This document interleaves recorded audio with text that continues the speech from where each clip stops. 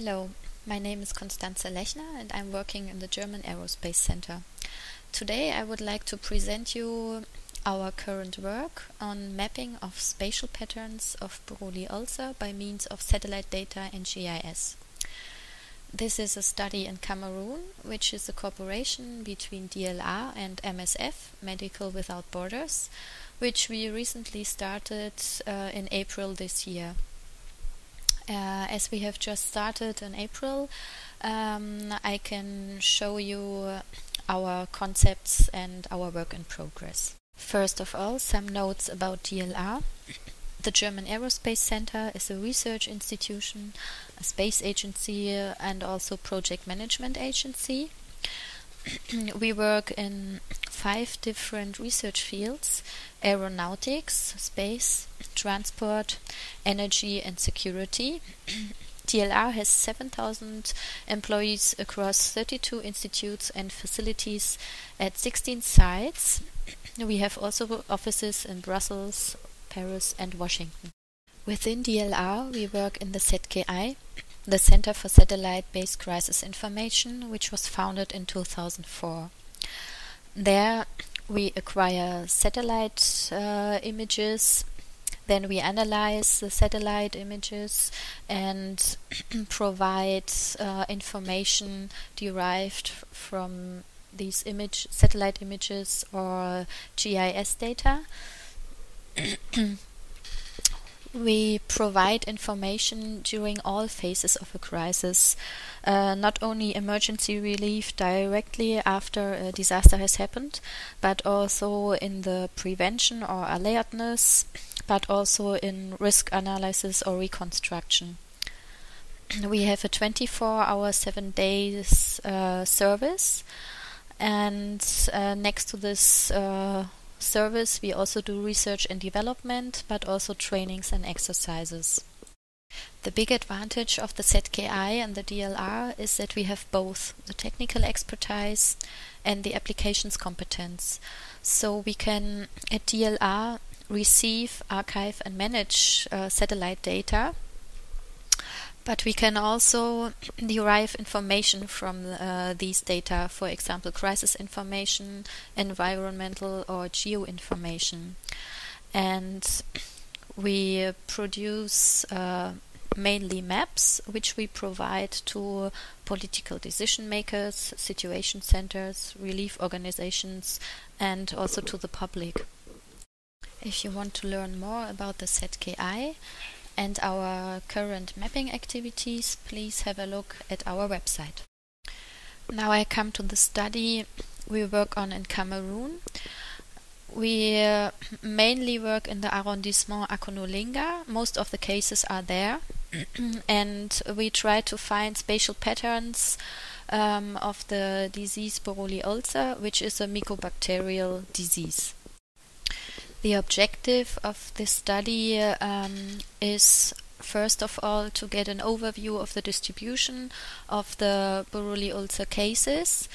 Uh, we will uh, visualize it in a geographic map and uh, then to find spatial patterns of uh, patterns of Buruli ulcer um, and find correlations with uh, geo features, for example, the land cover, temperature, soil moisture, or precipitation elevation.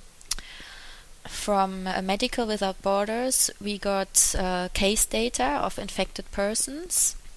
These are quite many. Um, we have about 1,200 cases near Akonolinga between 2002 and 2012. And as satellite and GIS data, we have several uh, satellites uh, images from Landsat, ASTER, ALOS, QuickBird for land cover analysis. We have MODIS data for interannual correlation analysis and an elevation model, but also vector data like villages, roads, rivers, and also an old topographic map from uh, 78. Currently, we work uh, on two different uh, products. The first one is to create a geographic reference map to see the distribution of Buruli ulcer cases. And uh, the second one is to uh, make a land cover analysis uh, based on Landsat satellite uh, image imagery and to have an overview about uh, the land cover in the arrondissement Akonolinga.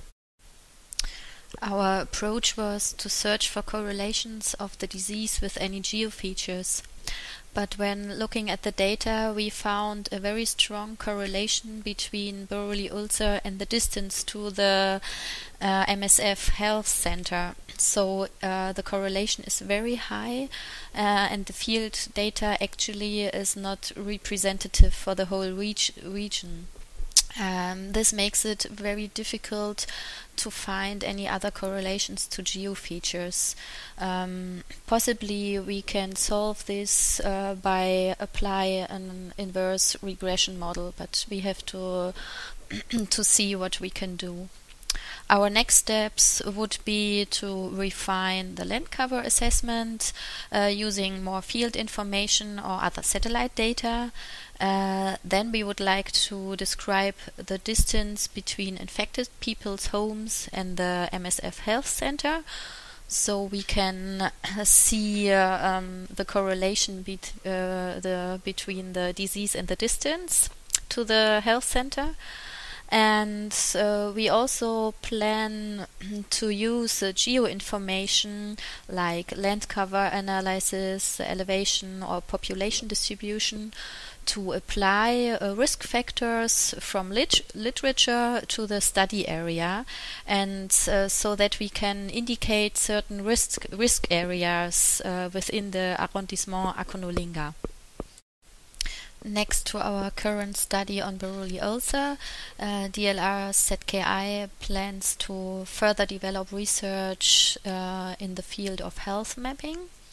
Uh, for example, we could do healthcare logistics, um, try to find out which roads are accessible, which airstrips are accessible, and extract this information from satellite data we continue to map spatial patterns in epidemiology and uh, maybe uh, try to build up uh, geospatial decision support systems. So, uh, um, at the end, to conclude, uh, we can say that satellite images and GIS data um, may contribute to a better understanding or um, improved management of public health and uh, the public health situation. Thank you for your attention, and now I'm happy to uh, receive your comments or respond to your questions.